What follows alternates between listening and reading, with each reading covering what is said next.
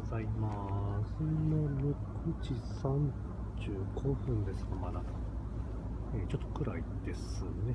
えーご覧のように、風は今のところほとんどなく、問題なく釣り可能です。はい、今日は釣れてますでしょうかね。こちら、アナゴだ。はーい。ありがとうございます。青い染め。いやー今日も頭、いい頭ですね。きびなご。はーい。こちらもきびなごで、いい頭3つかな。はーい。ありがとうございます。おう、元気。はい、こちら東向きは結構な釣り人いらっしゃいますね。